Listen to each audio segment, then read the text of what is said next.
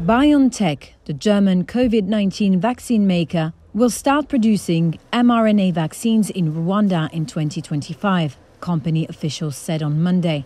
The company's first modular factory elements, based on shipping containers, were delivered to the Kigali construction site in March and were then assembled into so called biocontainers. It will be the first foreign company mRNA vaccine manufacturing site on the continent.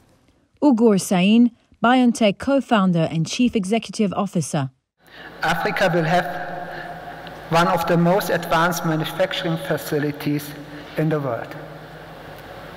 These biocontainers will be able to manufacture any kind of mRNA vaccines.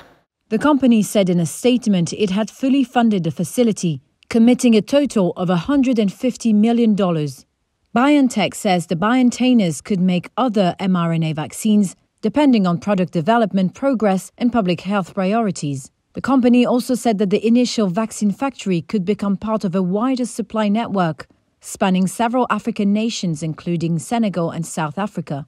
Rwanda's President Paul Kagame.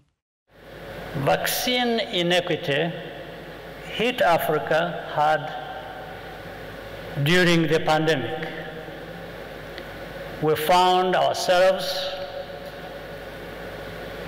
knocking on every door in search of doses.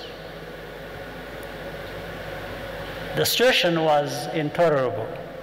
The move to start production in Africa is also part of BioNTech's push to expand mRNA manufacturing globally. Rival Moderna, in March this year, unveiled plans to establish an mRNA manufacturing facility in Kenya, which would be its first such facility in Africa.